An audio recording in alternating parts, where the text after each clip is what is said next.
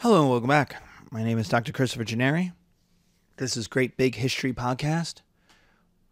And today we talk about the Crusades. The Crusades are a period of time from around 1080 to 1300 or so where Europe, Europeans left Europe to invade other places, mostly for religious reasons.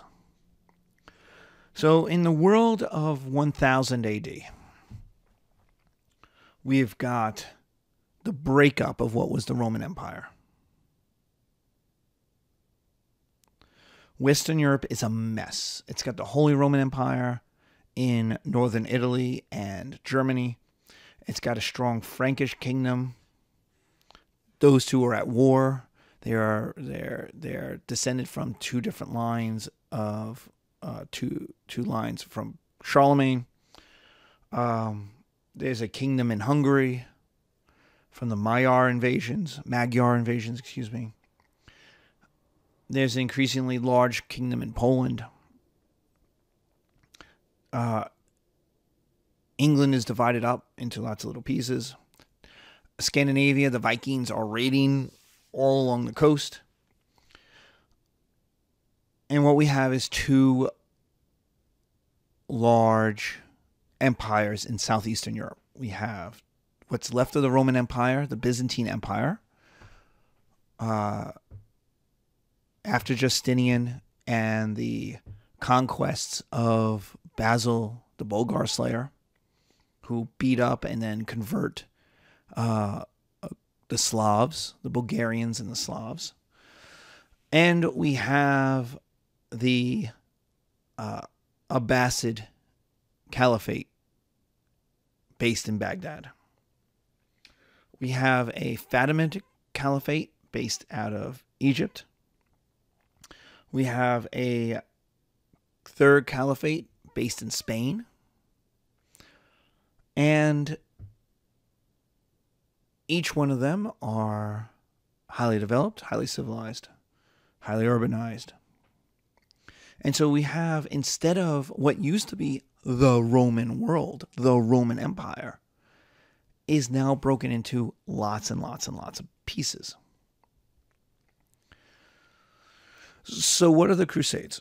The Crusades are holy wars to recapture Jerusalem, and there's eight in number, I believe. Though there's a bunch of ones that aren't called Crusades that kind of are Crusades, and even a couple of the ones at the end don't really want to get to Jerusalem. But the idea is to recapture Jerusalem for Catholicism. Now, why in 1080? I mean, Jerusalem had been conquered back in the 630s by Islamic forces or 650s. You know, it, Jerusalem has been an Islamic city for 400 years. Well, it had to do with the Battle of Manzikert and the defeat of the Byzantines to the Turks. What so the emperor in the Byzantine emperor is killed in battle the Eastern Byzantine Empire is now open. The Turks will flood in, changing Asia Minor into Turkey, the modern country of Turkey. and there's a, a brief civil war. And the Byzantine emperor who wins, Alexis, Alexis Comnenus, C O M M E N I U S. You could also spell it with a K if you want, but Comnenus needs help. He's got a halfway decent infantry army. The best part of the army was slaughtered out there at Manzikert. So, but he can put together a good infantry army, mostly out of people from Southeast Europe, from Serbs, from Slavs, from Greeks. He could put that together. The problem is, is he doesn't have heavy cavalry. He doesn't have knights. Those guys got obliterated at Manzikert, and the Turks took over the lands that produced those men, especially Armenia, Azerbaijan, um, the Caucasus regions, Georgia. Um,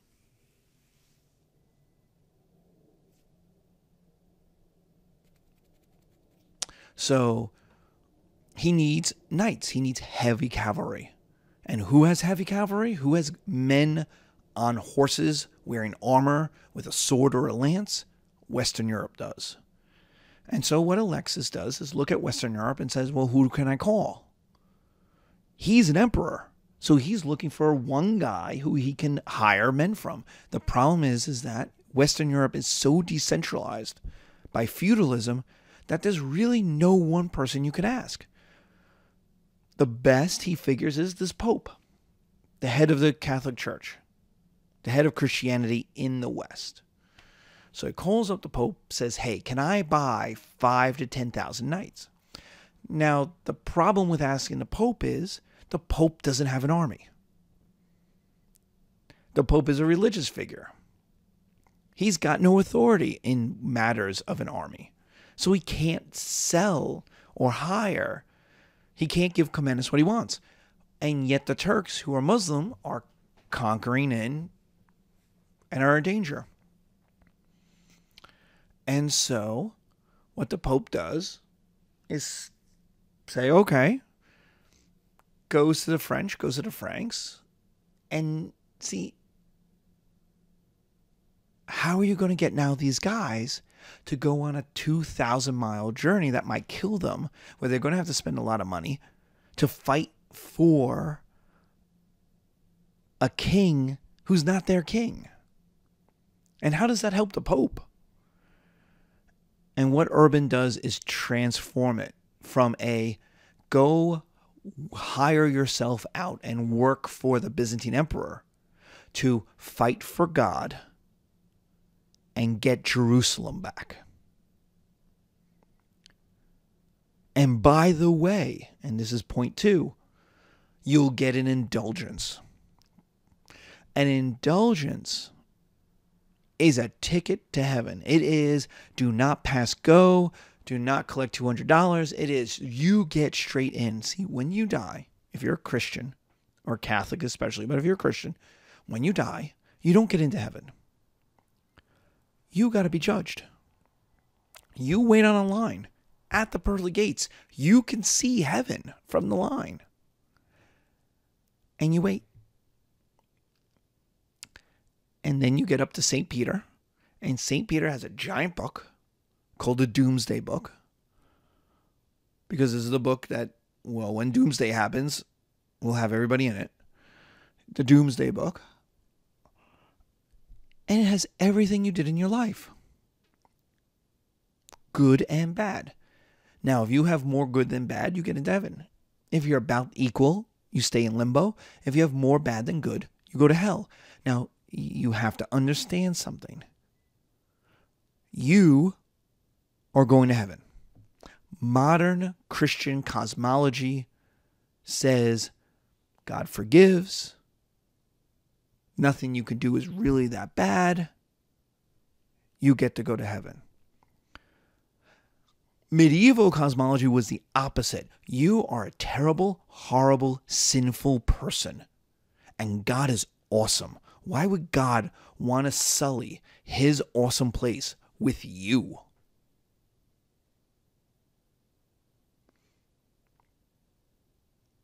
You lie, you cheat, you steal, you have sex, you think about sex, you think about lying, you think about cheating.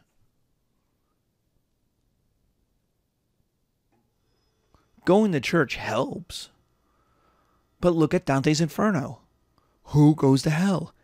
Everybody goes to hell. For everything.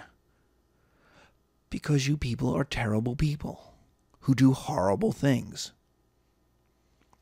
That is the medieval notion. You got to spend some time in hell. You got to burn off your sin. You got to repent for what you did.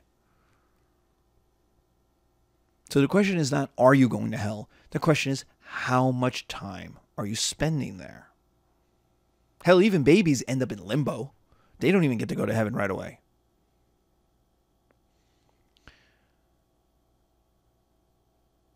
But an indulgence, an indulgence means every bad thing you ever did, everything, is wiped off the map, is crossed out. And for warriors, for professional warriors who spend most of their time beating up peasants, taking their money, maybe raping their daughters, this, this is manna. Manna from heaven. This is you you are never getting a better deal than this. You know how terrible you are. You know the awful bad stuff you have you've done. The priests tell you how terrible you are on Sundays. You do not live by the Beatitudes. And so the indulgence for wars is huge. You mean I get to go on a trip and I get to beat people up? I get to be a soldier and I get to go to heaven for that? And that brings us to three. Who is going to be attracted to this?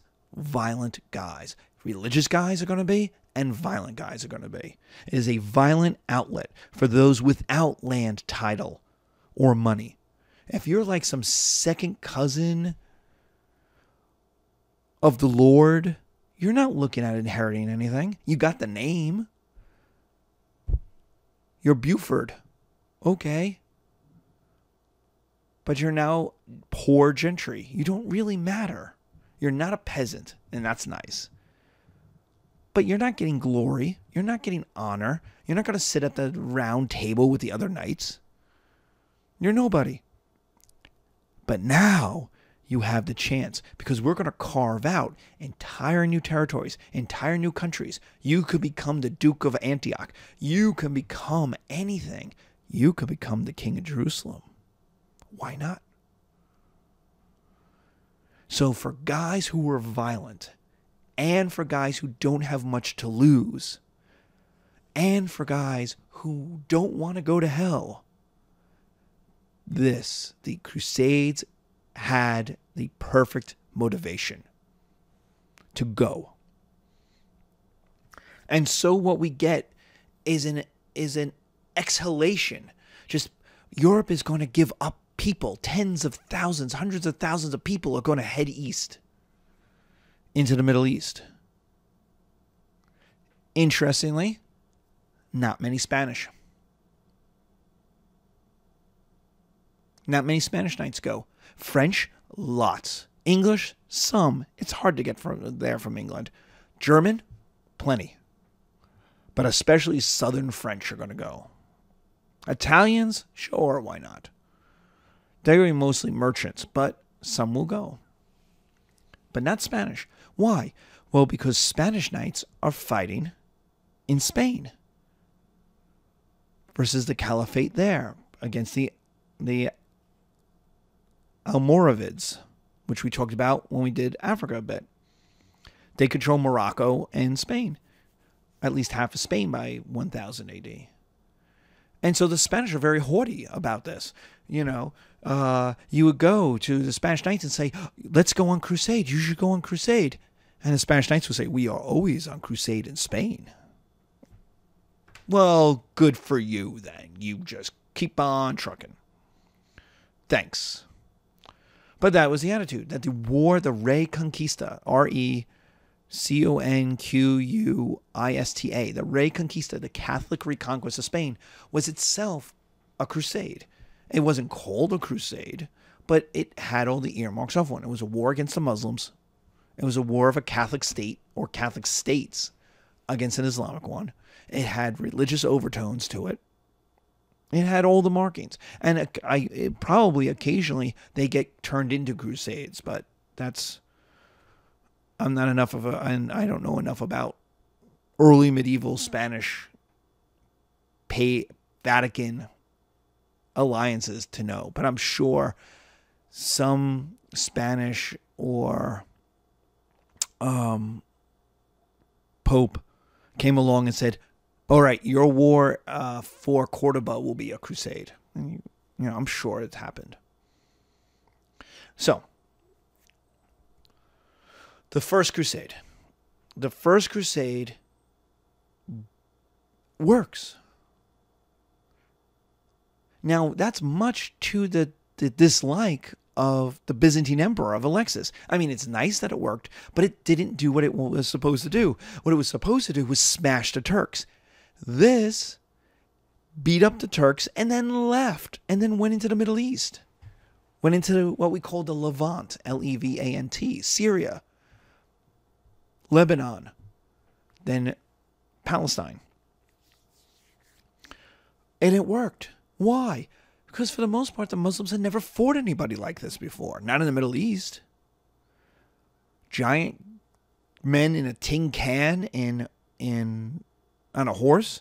They were used to fighting men swift, lightly armored, lightly armed horse troops. In come these guys.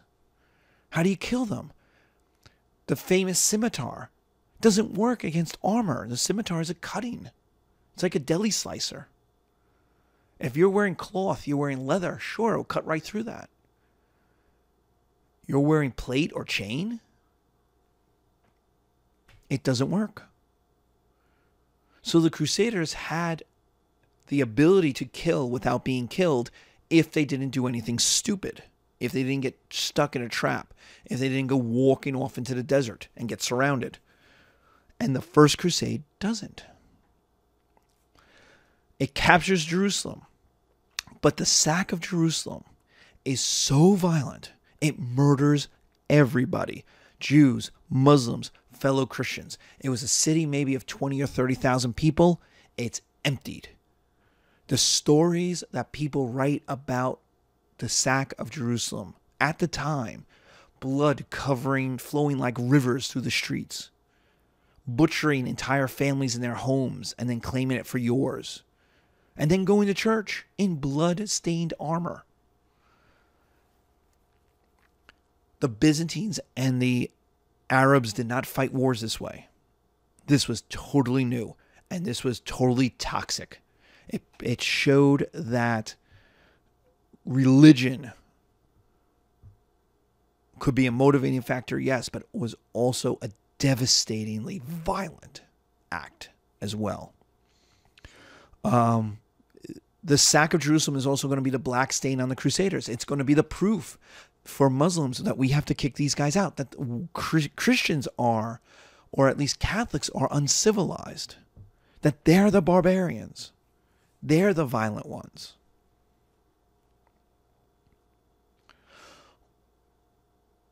What the First Crusade will do is carve out four Crusader states Catholic, independent states tied to Italy or France not to the Byzantine emperor. They are not loyal to the Byzantine emperor. They're tied economically back to Italy. They're tied really politically back to the King of France. A lot of these guys are French. Which upsets the Byzantine emperor because he was expecting this to help him. Instead, he's tied to a bunch of brutes he doesn't control with the added problem that he's still got the Turks to deal with. Well, this is going to cause a response. The Muslims have to respond. Not only did their kingdom get invaded, not only did a caliphate get invaded, but citizens got butchered. No caliph of the true faith could accept this at all from any people of the book. It's way too violent way too destructive. And so the one that they'll capture is Edessa, E D E S S A. That's up on the upper Euphrates. And the reason it's captured first is it's the closest to Baghdad, it's the easiest to get to. It's on the Caliph side of the Euphrates. So it was it was stupid to kind of have taken it. It was done for political, not military or economic reasons. Um, the Norman Knights who are French, but by, by these guys had actually conquered Sicily, creating the kingdom of the two Sicilies, Napoli and Sicily. They'll be the guys who create Edessa. And they didn't want to be told what to do by any of the other guys. And so they said, well, we'll just conquer ourselves a king, a kingdom. And so they marched across the Euphrates, conquered the city of Edessa, and said, we got a kingdom. It's ours. The problem with Edessa is no one could defend it. The Byzantines couldn't help you out. It was across the Tarsus Mountains. It was too far away from Antioch. It was too far away from the sea, from Italy. It couldn't get reinforcements. And it was vulnerable to Baghdad. And eventually, an army marched up and smashed it.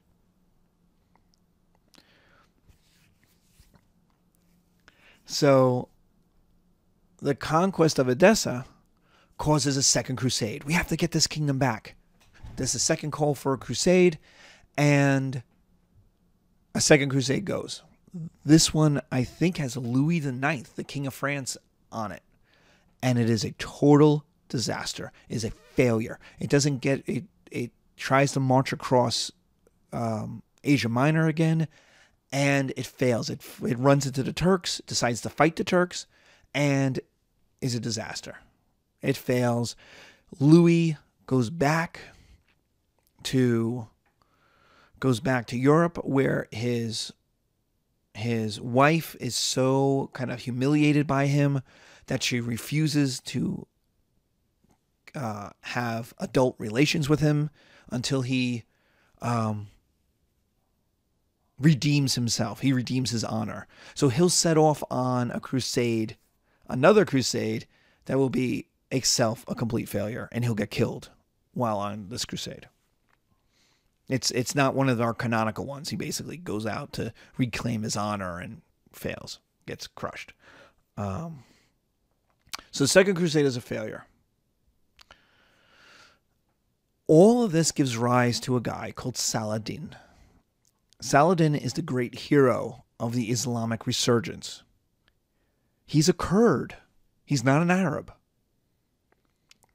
And what he will do is unify Iraq, Baghdad, and Egypt in order to counter the Crusaders. Now, he had a general, Nur ad-Din, who was his mentor, who actually went a long way in doing this, but he will put the finishing touches on the reconquest, the reunification of Baghdad and Egypt. And that meant trouble and that means trouble for Jerusalem. The goal for is Jerusalem. And what Saladin does is lure um, a pretender king of Jerusalem into a battle. Now I say the pretender king because the the guy is King Guy, G U Y, guy, but call him Guy.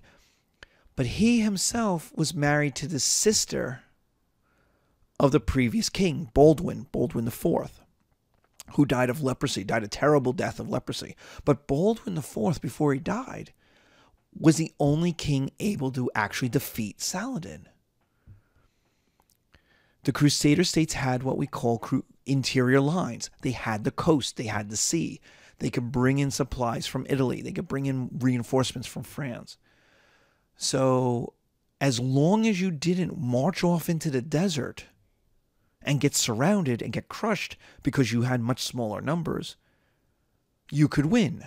You controlled the water, you controlled the water supplies because you controlled Jerusalem.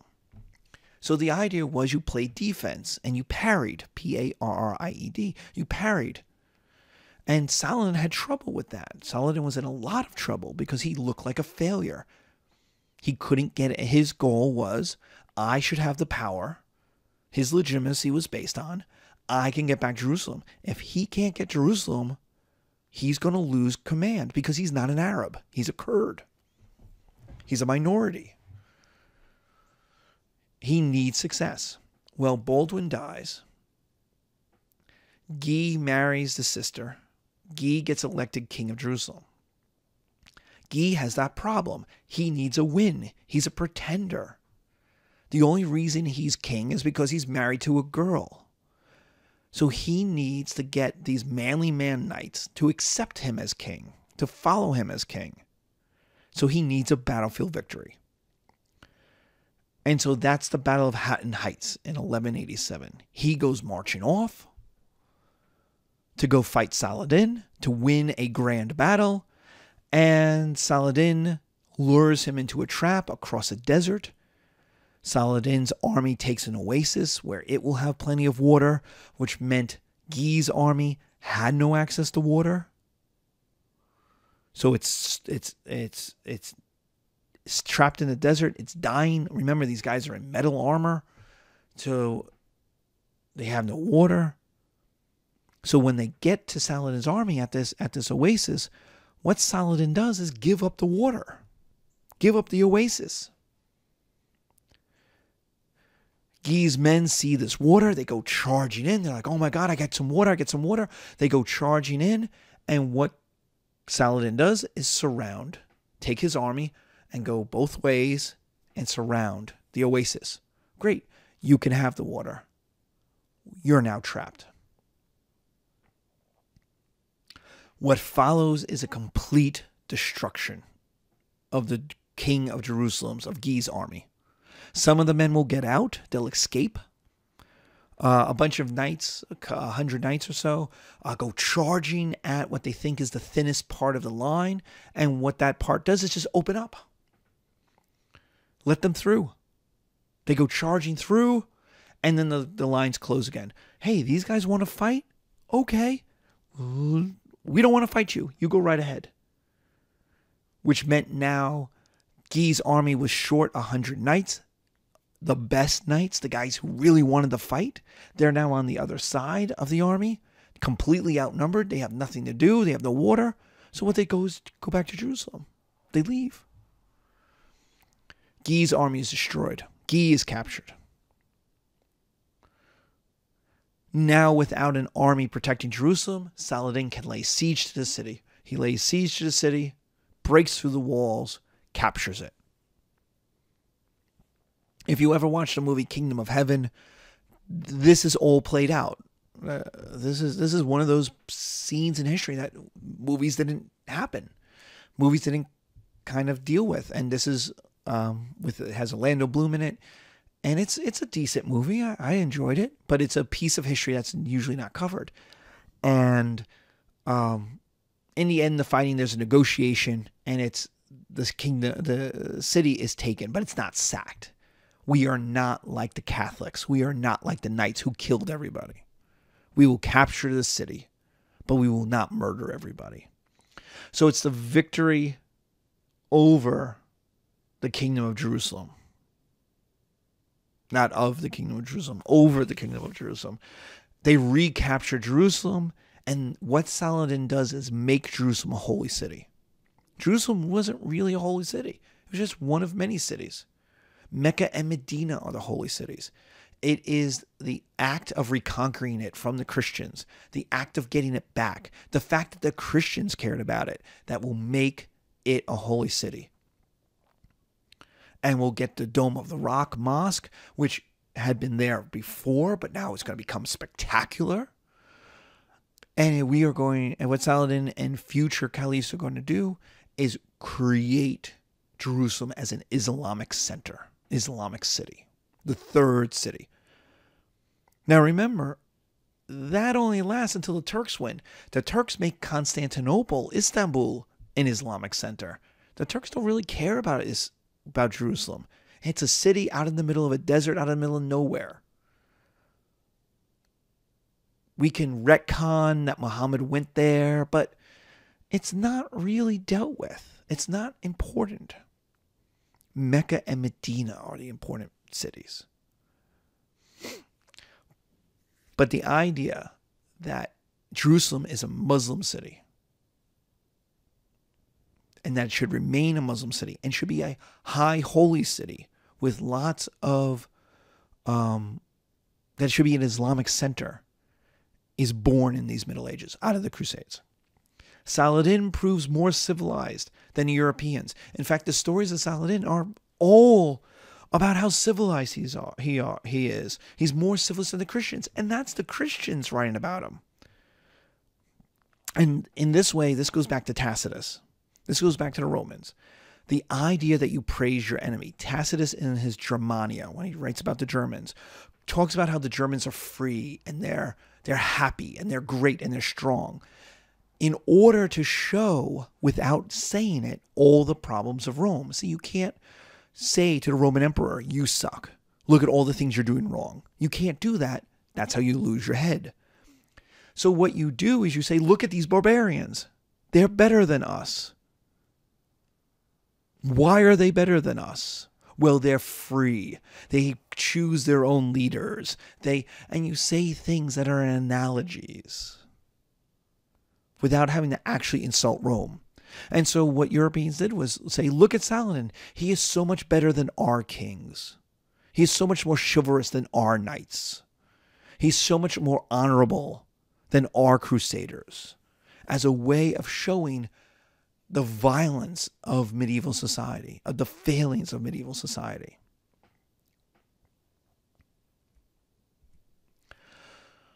The conquest of Jerusalem by Saladin causes the Third Crusade. Immediately, the, the bells ring out. This is the Crusade of the Three Kings. Everybody who's anybody wants to be on this. This is the All Star Crusade. The kings of England, France, and Germany are on the move and it's a failure. Why is it a failure? Because all of these kings had beefs with each other. The emperor in Germany did not get along with the king of France. The king of France did not get along with the king of England. In fact, the king of England was the vassal of the king of France. The king of England's supposed to do what the king of France says, but the king of England is Richard the Lionheart, Richard First, the manliest man in all of Europe. He ain't taking orders from nobody. And so the kings fought with each other instead of fighting Saladin. And then they took their beefs back home.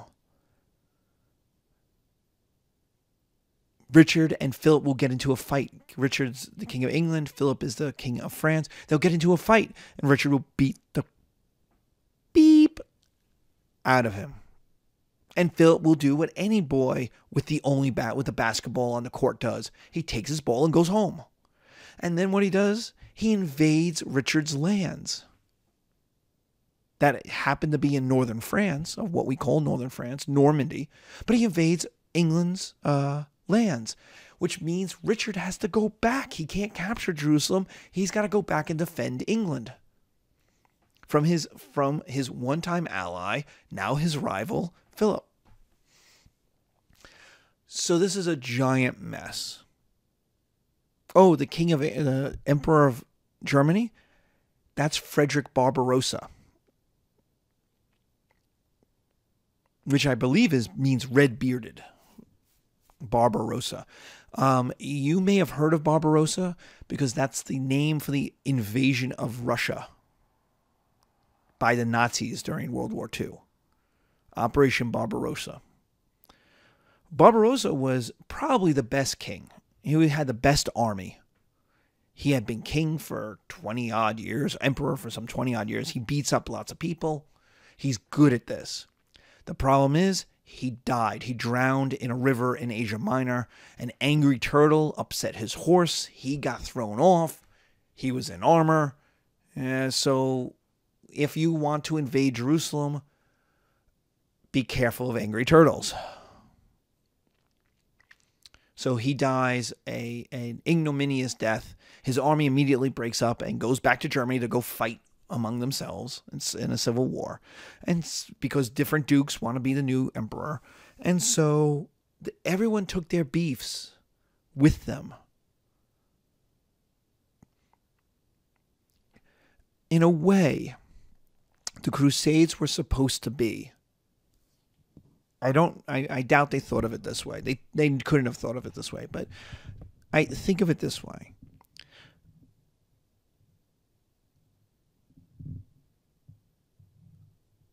People whose marriage is in trouble. Many times, and I've seen it myself. I've seen couples who I've known do this. Their marriage is in trouble. They're fighting. They got stress. And they're like, look, what if we just take a vacation? We'll go for 10 days to Cancun. We'll just get, maybe it's the place, it's the stress, it's the job. What if we just decompress and find the love again? We're married, we must have liked each other at some point. What if we just get out of town? And, and it will rekindle the spark.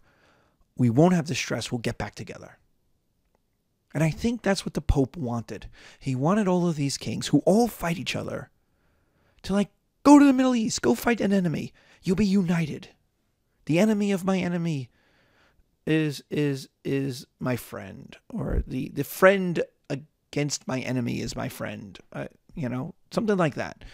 And the idea was go to the Middle East, beat up some people, beat up some Muslims, and realize you have more in common.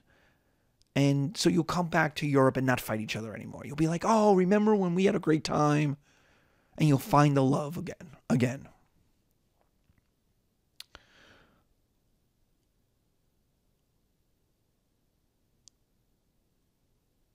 If you have seen this, maybe you've seen something different. But I've seen it, and it's never worked. And the reason it's never worked is because of the Third Crusade. Because they don't leave their problems back home, they take them with them on that vacation. So they go to Cancun and they fight about the kids. They fight about work. They fight about stress in Cancun. That no matter where they go, there they are. They can't leave their problems behind. And so they can't find the relationship they had before they had problems. And that is England, and that is France, and that is Germany. They can't do it. They go to the Middle East and they come home and they get divorced. They break up. They fight even more. Because now you know the Hail Mary didn't even work. So why even try it? That leads us to our fourth crusade in 1204, which is the last one we're going to talk about because it's the last one that really matters. The fourth crusade in 1204 doesn't even go to Jerusalem, doesn't even get there. It sacks Constantinople. The Duke of Venice used it, used his ships, used it to attack his economic rival, the Emperor of Constantinople, the Emperor of the Byzantine Empire. and the, the crusade gets sucked into a Byzantine civil war, or uh, uh, not so much a civil war as a dynastic dispute. So it's on its way to Jerusalem. It stops off in Greece on its way. And in Greece, they run into, the crusade runs into a um, Byzantine prince who got, got kicked off the throne. And the Byzantine prince says, Hey, guys, if you help me, get back on the throne, I will give you a gazillion dollars. Now, I know gazillion dollars are made up. I know there's no such thing as a gazillion dollars. But you have to understand, this is 1200 in medieval Europe. The Byzantine Empire, for all that it was known for, was known to be rich. The Byzantine emperor was known to be rich. He was the richest man in Christendom. He may be lazy, he may be a drunkard, he was a weird Orthodox Christian, which we weren't really sure is a Christian anymore, but they celebrate Christmas on the wrong day, they celebrate Easter on the wrong day.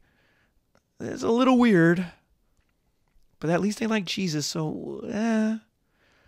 But he's wealthy. And so when he says, I'll give you a gazillion dollars, well, hell, maybe he's got a gazillion dollars. I don't know. We don't exactly have the Forbes 500 list telling us who the richest guys in the world are.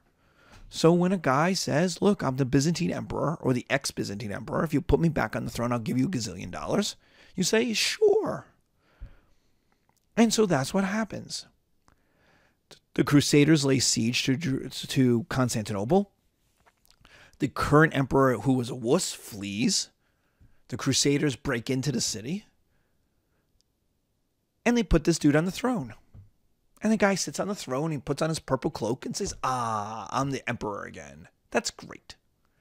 And the Crusaders look at him and say, Okay, where's our gazillion dollars?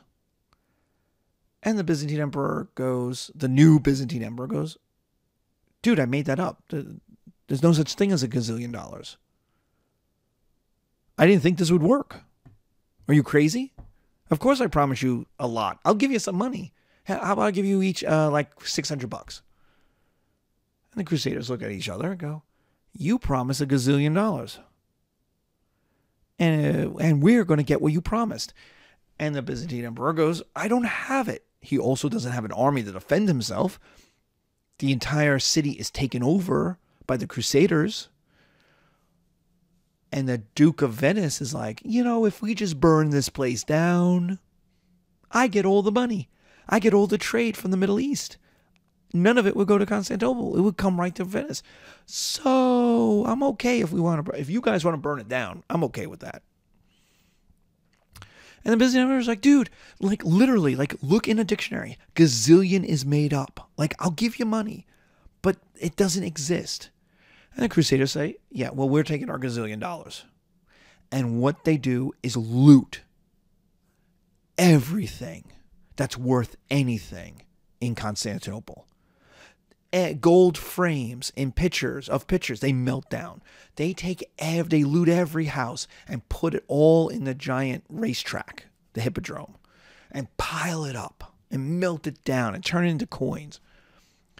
There, I don't think there has been a looting of a city so systematic, so complete since what the Greeks did at Persepolis or the Greeks did to the Persian Empire. I mean, I, I can't say that. The Romans were systematic as all heck. I mean, the Romans sacking Carthage probably did this. So, pro- so probably goes back to that, to Carthage. But the amount of money that is looted, that it's a thousand years of wealth, of culture, books, anything, is just taken from the city. It's just looted.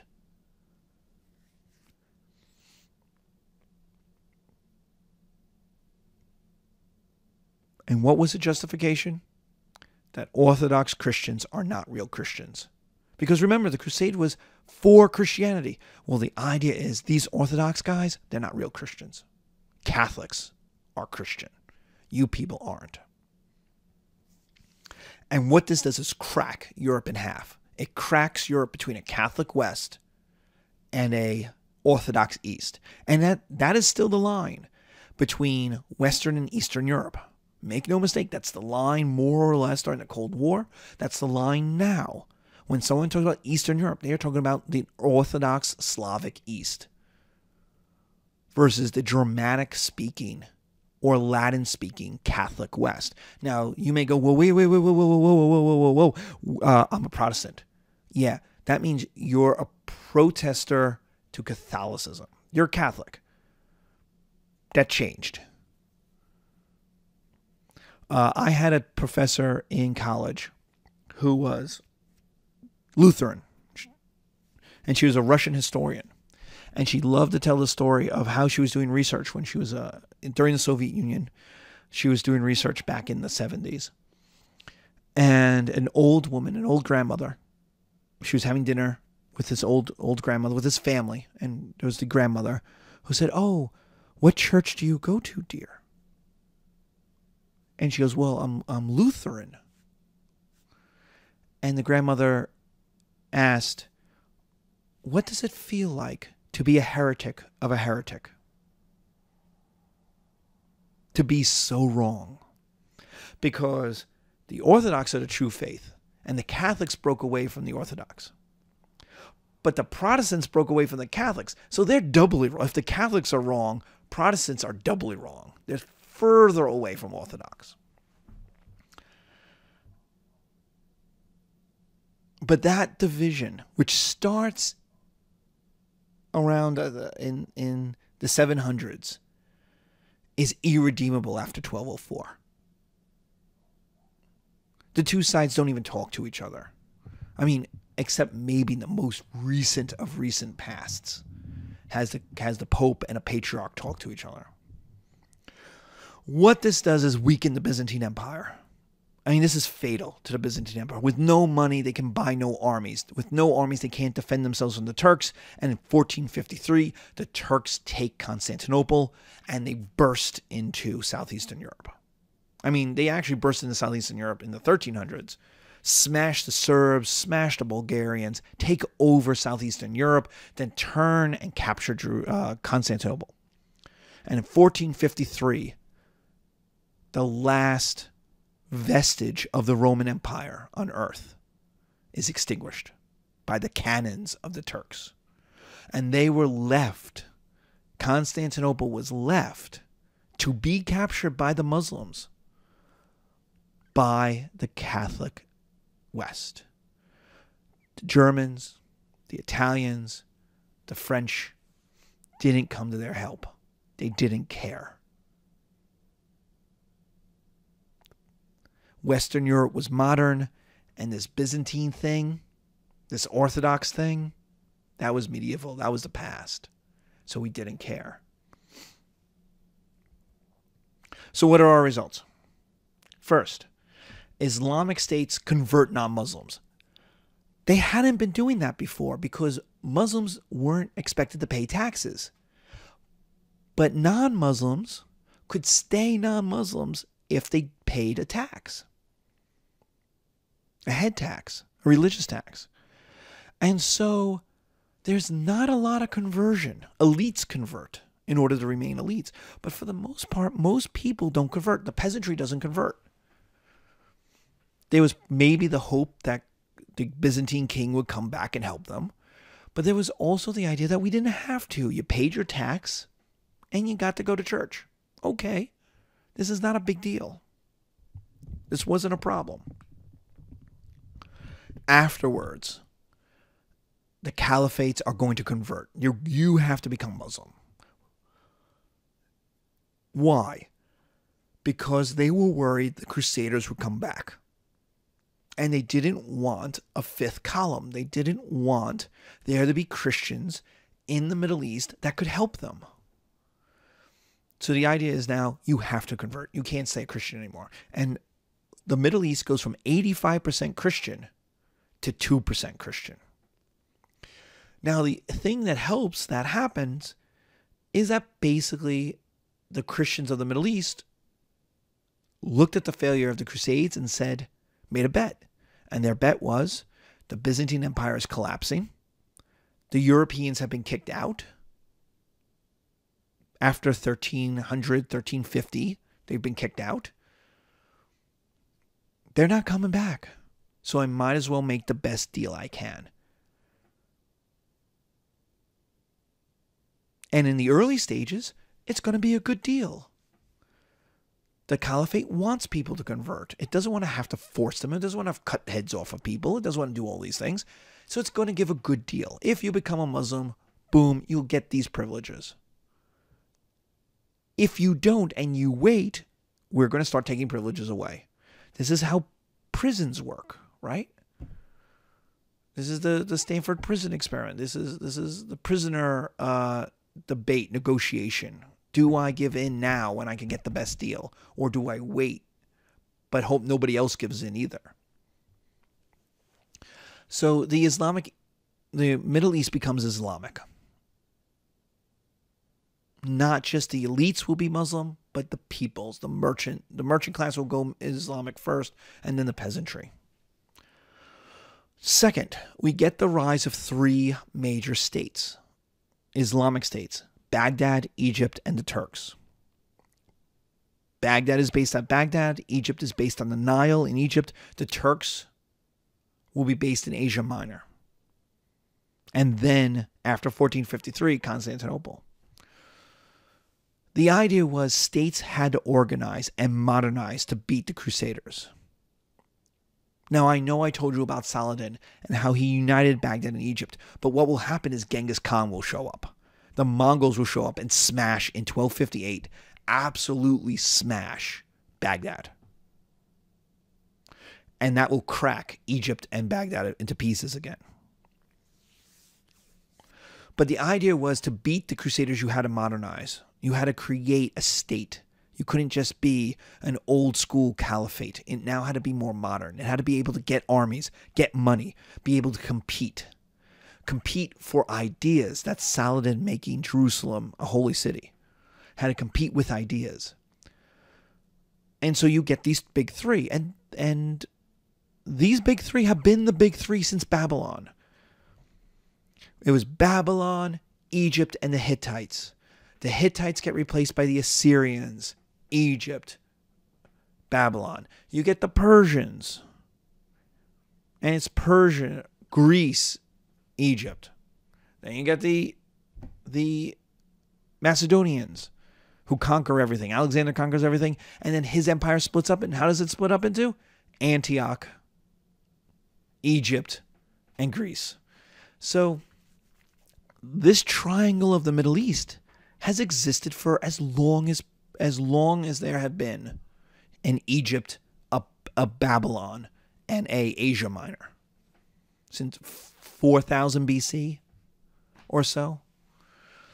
So it's not a surprise that in the 1400s that's what's created. These the breaks up into these three parts.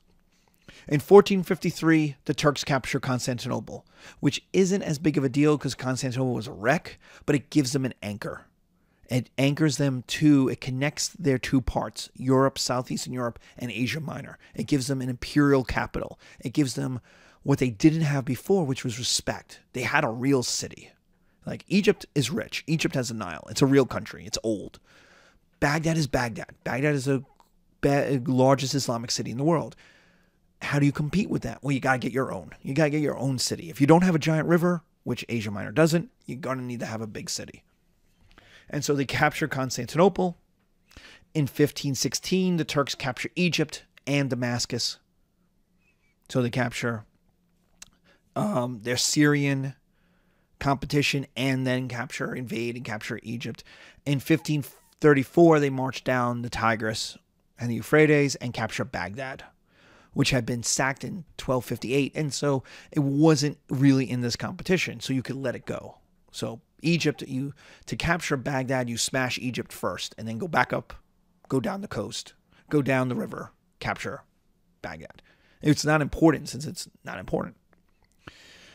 What that does is by 1534 leaves the Turks having united the Islamic world. They're not Arabs.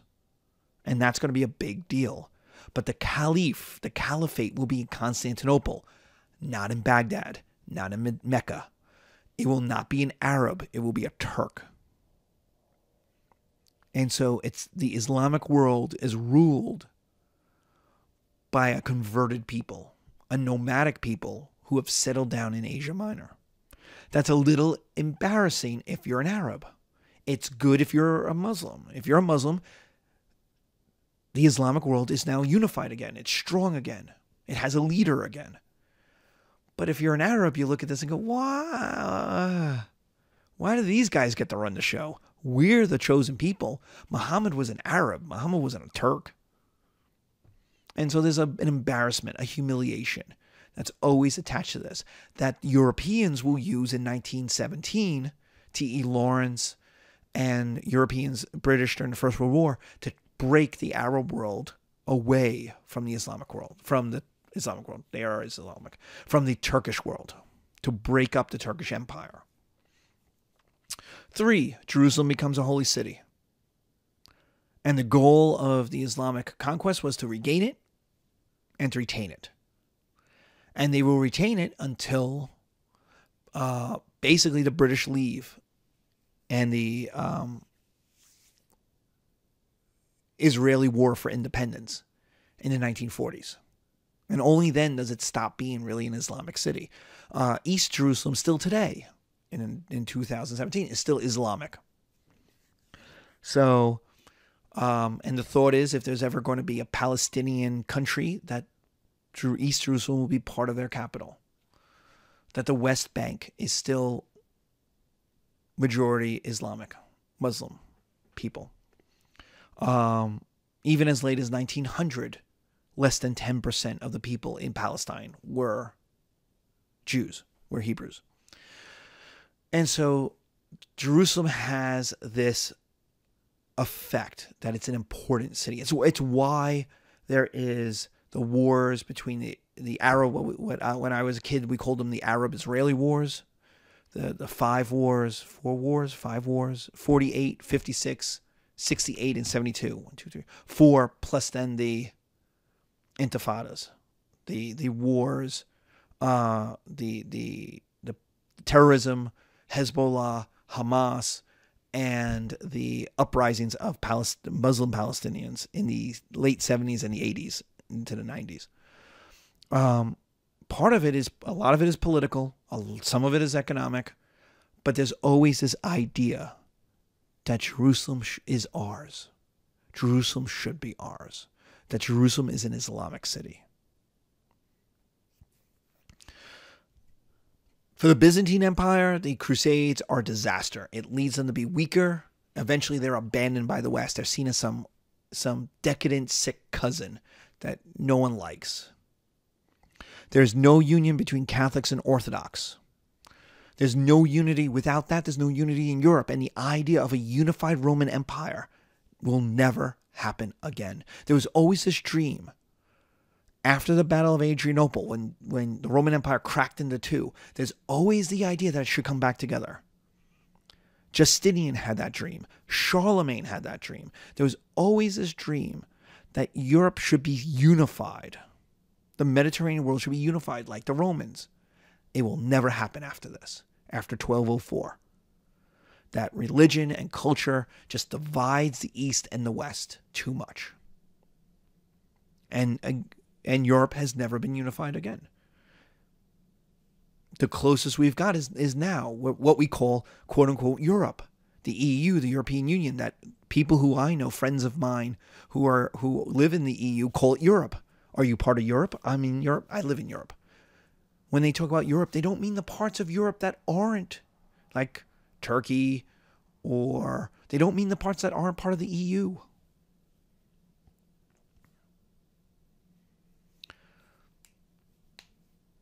So, so there's an attempt to to unify Europe again, but not real. But uh, but the EU is really an economic unity. It doesn't have a political unity. That's why Brexit is leaving. That's why the British want to leave.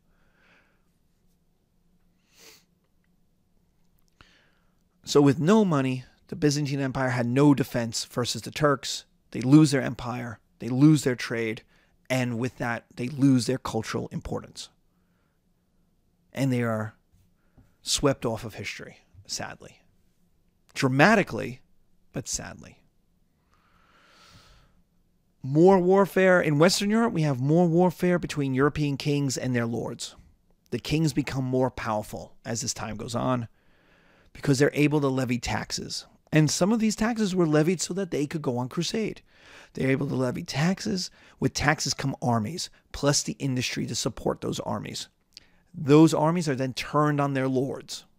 Oh, you want to fight against me? Look at what I got. I took this army to the Middle East. I got it bloodied up. I got it experienced. And now I'm going to use it against you, lords. They defeat the lords and they create powerful states. This is especially true in France. It's a little less true in Germany. You don't get a unified Germany, but the Emperor of Germany does become very powerful in the Middle Ages the 12, 13, 1400s. The First Crusade, and we see this conversion. The First Crusade was led by lords. There's no kings on that crusade. It's lords with their retinues, with their homeboys. And what it had was loyalty and enthusiasm. It had no leader. It was much more democratic. Now it fractured. The Normans went off and did their own thing. Other people stopped at Antioch. Other people went on to Jerusalem. And it had maybe 15,000 total knights and officers. The third crusade, the one to get back, the All Star Crusade, the Crusade of the Three Kings, was three kings with paid armies. They were kingly armies. They weren't rich guys going on their own. These were kingly armies, and they brought with them size and power. The Barbarossa had 20,000 knights of his own. Richard had 10,000 knights. Philip had probably 2,500 knights. You could see that Philip, even though he's the king of France, wasn't a strong king. He couldn't get that many lords to go with him. The kings of France will become stronger, beat up their nobility. But Richard could get 10,000 knights. Barbarossa, though, could get 20,000 knights. That's more knights. That's double the knights of the entire First Crusade. So the future is in kings. And when we take History 102, we'll see the development of states, we'll see kingly armies, we'll see infantry, we'll see a world at war that will eventually end um, in 1848 with the coming of communism, coming of democracy, coming of uh, liberalism, and the idea that kings don't really get to run the show anymore. The French Revolution kind of knocks it in its in its knees, but there is a period from 1815 to 1848 where conservatism makes a comeback. But that's in History 102. What about it for Italy? For Venice and Genoa, they got rich. They got stupid wealthy. They get rich on the transport of crusaders. They're going to build boats to ship crusaders and their horses. With those navies, they now have trade because I have a boat. And if it's not going to be full of people, I'll make it full of stuff. So, Middle Eastern trade, instead of going to Constantinople and from Constantinople to Europe, will instead go to Lebanon. And from the Lebanon cities, which were always major trade cities ever since ancient Egypt, they are always major trade cities, the Phoenician cities, will get on Italian boats. And from Italian boats, they will go back to Italy, to Venice, to Genoa, eventually to Florence. Those navies will dominate the Mediterranean. Those navies will protect trade. Those navies are going to make them rich so that Venice and Genoa and the other trade cities of Italy are going to get rich on the exact trade, on the Silk Road trade, on the Mongolian trade. Notice who Christopher Columbus is. Notice who Marco Polo are. These are Italians from Genoa. Marco Polo going to go all the way to China. He's going to take Italian boats to the Middle East, and then he's going to walk on the Mongol conquered roads all the way to China, and then be in charge, not be in charge, um, work with Kublai Khan in China for 10 years or so, and then come back. Well, if he could do that, trade will do that. And so they replaced the Byzantine Empire. This is especially true after the Byzantine Empire is looted in 1204. The the Vienna, not Vienna, Venice knocked off one of its rivals like a good mafioso boss does. Its rival was Constantinople. It knocked the knees out of it using the crusade. And what will come west is money. All of that money, but also Byzantine knowledge as Byzantines flee the dying Byzantine Empire, they'll go to Italy. It's the most culturally similar. It's still the most advanced place. It's the easiest to get to. And that Byzantine knowledge of Aristotle, of Plato, of Socrates, of Euclid, of Aeschylus, of Sophocles, all of that plus the money to build universities and schools will create the Renaissance, which will be our next topic. And so Venice and Genoa dominate the Middle Eastern trade, get rich, create, and are at the forefront of using that money to create the cultural revolution that is the Renaissance.